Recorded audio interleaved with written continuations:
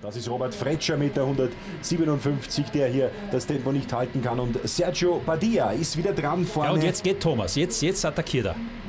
Attacke von Thomas Oarecker, drei Kilometer vor dem Ziel. Dem ist das Ganze oh, da hinten nicht wohl bekommen. Da hat er jetzt richtig Meter gemacht. Also jetzt sieht man natürlich, jetzt, jetzt beißt er. Jetzt fängt er an, Finale zu fahren. Versucht natürlich jetzt seine Gegner auch ein bisschen zu demoralisieren mit diesen kurzen Absätzen, dass keiner auf seinem Hinterrad bleibt. Schauen wir mal, wie die hinten reagieren, ob sie Tempo aufnehmen. Thomas Orecker, der hier vor fünf Jahren zuletzt gewonnen hat, eben auf dem Kitzbühler Horn, der Zweiter war vor vier Jahren hinter dem Dänen Sörensen. Wer geht danach?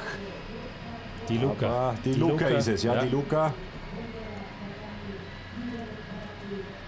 Dahinter Ignatenko ja, und ebenfalls Morabito, Steve Morabito, der Schweizer, vor Pagani. Ja, die Luca natürlich kein unbeschriebenes Blatt. 2007 den Giro d'Italia gewonnen, also schon äh, eine Sache, die in seinen Erfolgsliste hat, die natürlich eine eigene Sprache sprechen. Aber Rorecker kommt nicht weg, schaut, die Luca kommt da wieder heran, der zieht die anderen jetzt mit. Ja, aber er hat, er hat gezeigt, er hat was drauf. Kann natürlich das Tempo nicht durchziehen, aber hat natürlich die Gruppe gesprengt. Und das ist Vogelsang, den würde ich auch noch nicht abschreiben. Der ist da noch dran. Dahinter dann Leopold König, der im Vorjahr auf Rang 3 war hier. Trauriger im Vorjahr hier Fünfter. Und die Luca hat sich wieder herangekämpft. Alles wieder beisammen. Morabito und dahinter Pagani. Ja, das ist ein richtiger Poker jetzt. Der Gerd schaut ganz genau in die Augen der Rennfahrer, versucht irgendwie abzulesen, wer hat da noch die größten ja, Reserven jetzt Leider, leider sind die meisten Augen durch die Brillen verdeckt, aber da, da, da müssen jetzt alle die Karten aufdecken. Also da gibt es nichts mehr, wo einer jetzt zurückhält. Ja, Spilak und Ignatenko, die beiden kommen jetzt auch wieder da zusammen, gemeinsam mit Pagani. Die Sechs-Mann-Spitze hier bald wieder zusammen. Die Luca. Jetzt wieder an der Spitze gemeinsam mit Roarecker und Morabito.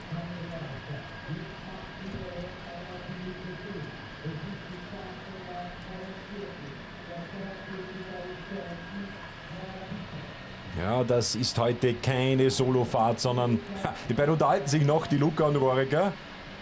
Wer will gewinnen heute? Willst du? Wie ich? Naja, vielleicht hat er gefragt, wie weit ist der noch? Oder wird es noch ja. steiler oder kommt jetzt bald einmal Abfahrt? Könnte man den Teamkollegen natürlich Ich, ich glaube nicht, dass der, der, Thomas da jetzt allzu viele Informationen mitteilen wird. Wir sind gleich da, wie wir gesagt haben, und hofft vielleicht den Heimvorteil hier auszunützen in diesem Finale. Joeka vorne rechts die Luca, daneben Spilak, dahinter Morabito und Ignatenko außen jetzt, der auch noch sehr frisch wirkt, der Russe vom Katjuscha-Team. Da haben Sie mit der Nummer 24 ganz rechts jetzt im Bild Und Robert Fretscher hat sich auch herangekämpft hier, ist jetzt wieder Super. mit dabei, ja. genauso wie Badia, Sergio Badia mit der Nummer 57. Da wird natürlich jetzt äh, Thomas Kofler vom Team Vorarlberg hinten jubeln im Mannschaftsauto, weil er natürlich auch ein ja, ganz respektabler Zeitfahrer ist. Ah, was natürlich unter dem Bergfahrer nicht so gang und gäbe ist, dass einer gut Zeit fahren kann. Ignatenko jetzt vorne, es hat noch keinen russischen Sieg hier am Kitzbühler Horn gegeben. Eins ist klar natürlich, wer heute hier jetzt vorne ist. Da geht es natürlich dann auch um die Sekunden, denn wir haben ja ganz enge Abstände in der Gesamtwertung. Der wird von diesen Fahrern die Gesamtwertung natürlich anführen, auch die Punkte und die Bergwertung. Ja, aber ich glaube momentan, dass da keiner die Bergwertung wirklich im Sinn hat, sondern da geht es jetzt wirklich um eine der Vorentscheidungen äh, in der Rundfahrt. Abgesehen davon, dass es noch einige schwere Etappen unter Zeitfahren gibt, aber hier wird einmal der Grundstein für einen Sieg oder für eine Niederlage gelegt. Und jetzt momentan die Luca macht vorne das Tempo. Rapito jetzt Dritter und hinten. Spieler kann zwei, dritter Stelle. Padilla auch, der sich jetzt vorgeschoben hat an die sechste Stelle hinter Pagani. Die Luca also vorne vor Rohrecker.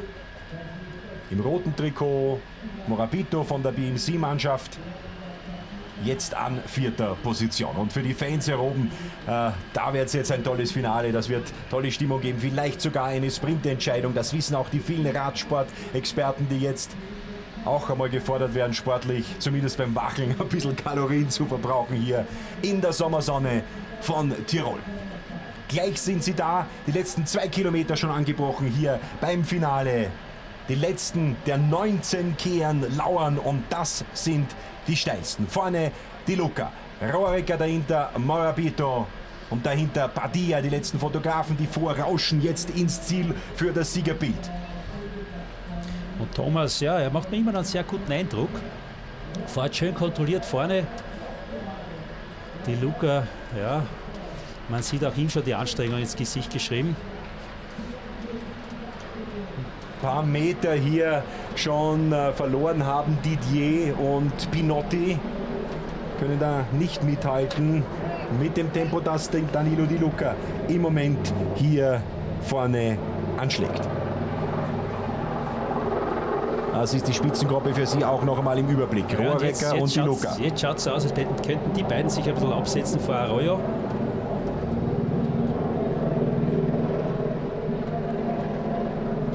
Ja, die Zähne zeigt er uns schon, Danilo Di Luca, aber das ist so seine Art, das kennen wir auch von seinen großen Erfolgen, von seinen Siegen beim Amstel Gold Race, bei Lüttich, Bastogne, Lüttich. Die Frage ist, kann Thomas Rohrecker jetzt dranbleiben an Danilo Di Luca? Sie sehen die Prozent eingeblendet, 17,9 Prozent und er ist ein bisschen weg, Di Luca jetzt. Das ist jetzt, das ist jetzt äh, eines der steilsten Stücke und hier ist äh, Di Luca, ja, man sieht natürlich, ja, jetzt hat der Thomas ein bisschen Boden verloren. Ja, und der Thomas dreht sich auch immer wieder um, kommt vielleicht Vogelsang noch heran. Ah, was ist los hinter mir? Er darf sich aber jetzt nicht allzu viel umdrehen, er muss sich jetzt an die Luca orientieren, wobei die Luca natürlich ein schlechter Zeitfahrer ist. Sehr guter Bergfahrer, aber schlechter Zeitfahrer. Also würde ich auf beide im Zeitfahren setzen, dann sicher auf Thomas Roig, aber das Rennen ist noch lange nicht entschieden. Aber jetzt muss er dranbleiben, jetzt muss er sich wirklich äh, als sozusagen als Orientierungspunkt nehmen, nicht nach hinten zu schauen, sondern nach vorne. Die Luca, das ist jetzt der Mann, äh, an den es geht, sich zu halten. Diachenka kann auch nicht mithalten hinten. Oh, der wirkt noch sehr gut, der Italiener und auch die Kräfte am Ende bei Simon Spilak, beim Slowenen der Katjuscha-Mannschaft, der vor allem unten zu Beginn des Anstiegs sehr viel gearbeitet hat. Fällt da zurück. Wir sehen vorne auch schon einige Meter hinter Morabito zurück. Ja, die Luca hat jetzt natürlich mal, ja, er tritt einen schönen, schönen, leicht, ein bisschen fast einen leichteren Gang als Thomas, wobei der Thomas nie einer war, der leichte Gänge getreten hat. Aber es ist, er hat, er hat noch nicht aufgegeben, man sieht, er ist am Kontakt dran. Und wir sehen die letzten eineinhalb Kilometer hier. Wenn dann die Bäume aufhören, wenn die Fahrer hier auftauchen, im Zielhang sozusagen dieses Bergaufrennens, dann sehen auch die Fans hier runter. Aber der Vorsprung von Di Luca, der ist schon sehr groß. Der zieht den jetzt davon, ja. Rohrecker hinten kann das Tempo nicht mithalten. Wo taucht er auf? Hinten ist schon zurückgefallen. Ja, aber es ist, ah, es, er ist noch, ja.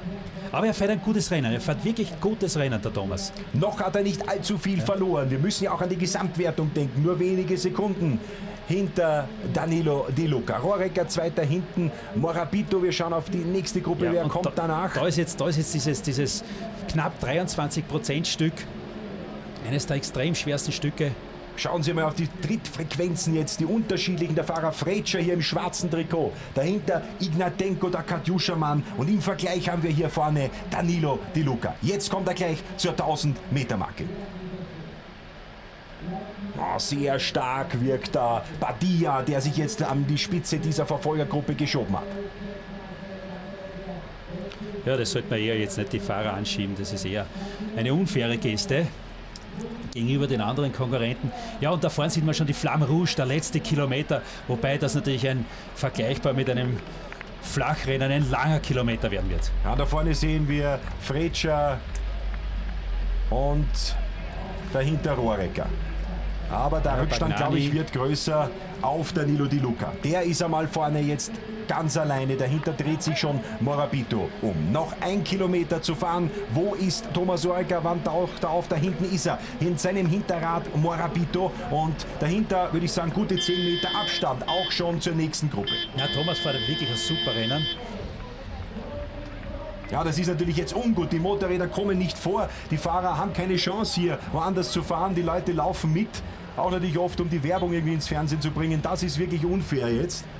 Andererseits ist, es, Behinderung. andererseits ist es schön, wenn es diese, diesen Enthusiasmus gibt. Das ist ja das, wovon der Radsport und was natürlich auch einen äh, Radsportler motivieren kann. Ja, ja da kennen wir den Didi Senf, den berühmten Teufel, der ebenfalls schon zum Inventar gehört, der jetzt noch einmal Feuer macht. Unterm Hintern Danilo Di Luca. Ist aber auch schon mal schneller und länger mitgelaufen. Er hat schon ein höheres Alter erreicht, schon über 60, soweit ich weiß.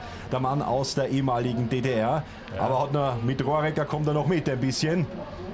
Und dahinter Morabito, der das aber jetzt clever macht. Der hängt sich da jetzt ans Hinterrad. Und immer wieder der Blick zurück von Thomas Rohrecker. Jetzt sind wir in diesen steilsten Kehren, die wir angesprochen haben. Ja, der Danilo Di Luca hat sich natürlich jetzt einen schönen Vorsprung schon herausgefahren. Also er fährt ziemlich konstant. Schaut nicht so aus, als hätte er sich da jetzt verkalkuliert. Aber da fährt jetzt jeder für sich. Da ist jeder am Limit. Thomas hat jetzt offensichtlich ein bisschen das Tempo forciert. Hat er noch eine Chance hier, Danilo Di Luca auf den letzten 800 Metern abzufangen? Im Moment sieht es nicht danach aus, aber vielleicht gibt es noch eine Explosion bei Thomas Oreca. Morabito an seinem Hinterrad und der Vorsprung auf die Fahrer dahinter auch schon relativ groß. Da haben wir die beiden. Vorne Di Luca schon unterwegs ins Ziel. Ja, ah, da bietet der Blick aus, nach oben. schon so, so schätzungsweise 20 Sekunden Vorsprung, 15, 20 Sekunden. Ist noch nicht viel, also der Thomas ist wirklich gut dran. Es ist da jetzt gar nicht so wichtig, ob er jetzt Zweiter oder Dritter wird, sondern da ist es wichtig, einfach nicht zu viel Zeit zu verlieren. Wir schauen dann ganz genau auf die Uhr für die Gesamtwertung, bevor es dann morgen ja auf die nächste schwierige Bergetappe geht, übermorgen dann am Großglockner.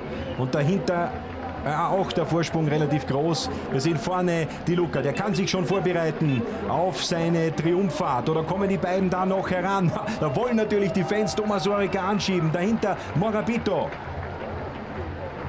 Wer wird der Nachfolger von Kesjakov? Wer fährt heute hier ins Gelb und damit in die Rolle des Top-Favoriten des Gejagten? Ah, dahinter kommt nichts mehr nach, wenn Reuke jetzt nicht eingeht. Platz 2 oder 3 für den Tiroler ist fix. Kann er noch die Kräfte mobilisieren für einen Schlussbär? Das sieht nicht danach aus. Die Luca vorne ganz souverän schon auf der letzten Kehre 200 Meter nur mehr ins Ziel für den Giro-Sieger des Jahres 2007. Ja, und Thomas weiß natürlich auch, jetzt geht jetzt um jede Sekunde, die er hier auf die Luca nicht verlieren darf und wird noch einmal wirklich alles mobilisieren, aber natürlich auch die Luca vorne gibt alles und ja, der Vorsprung ist leicht größer geworden, aber nicht wirklich äh, so, dass er ihm wirklich davon fährt. Also ich schätze die 15, 20 Sekunden immer noch und bei, da geht jetzt nur noch wirklich der Kampf gegen sich selbst. Was bist du noch bereit, dich zu quälen? Und du weißt natürlich jetzt noch äh, einige 100 Meter und dann ist es vorbei. Rohrecker mit dem letzten Antritt, aber vorne fährt der Topstar dieser Tour, der Internationale, ins gelbe Trikot als neuer Gesamtführender. Danilo Di Luca, 3,50, 49 inoffiziell einmal hier mitgestoppt von uns. Wie viel Sekunden Rückstand hat jetzt Thomas Rohrecker? Wir zeigen sie Ihnen. Morapito hat ihn noch niedergesprintet auf Rang 2 und 10 Sekunden Rückstand für den Österreicher. Das ist nicht viel, das war ein tolles Finale von Thomas Rohrecker. Arena. Kompliment, Thomas. Rang 4 für Ignatenko, dahinter ein Astana-Mann und Robert Fretscher auf Rang 6 für das Team Vorarlberg. Auch eine tolle Leistung. Wunderbar. Und deswegen, ja, jetzt kann er mal Aqua Sapone arbeiten lassen. Und die Luca ist nicht wirklich ein begnadeter Zeitfahrer. Also da würde ich Thomas Reuker schon äh, wesentlich stärker einsetzen, aber wir, einschätzen. Aber wir dürfen natürlich auch nicht jetzt schon vom Zeitfahren sprechen. Es kommen noch wirklich zwei schwere Etappen. Und auch die Niederösterreich-Etappen sind nicht zu unterschätzen. Da haben wir auch einen steilen Berg, den Sonntagberg dann mit steilen Rampen ins Ziel. Zweiter italienischer Sieg hier nach Rico vor zwei Jahren. Jetzt Danilo Di Luca fährt in Gelb hier am Kitzbühler Horn.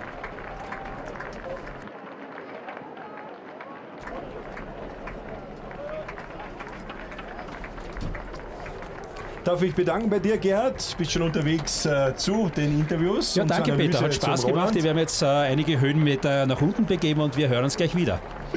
Ja, ungefähr 10 schätze ich mal runter zur Rampe zu Roland Hönig. Wir genießen noch einmal den Zieleinlauf.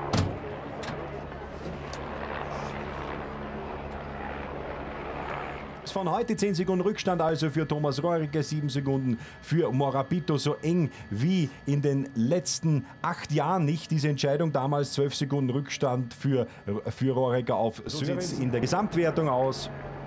Danilo Di Luca Das ist noch einmal die Tageswertung, noch einmal für Sie im Überblick. Marcel Wüss sehen wir hier noch auf Rang 10 wieder 1,17 zurück, den dürfen wir auch nicht unterschätzen.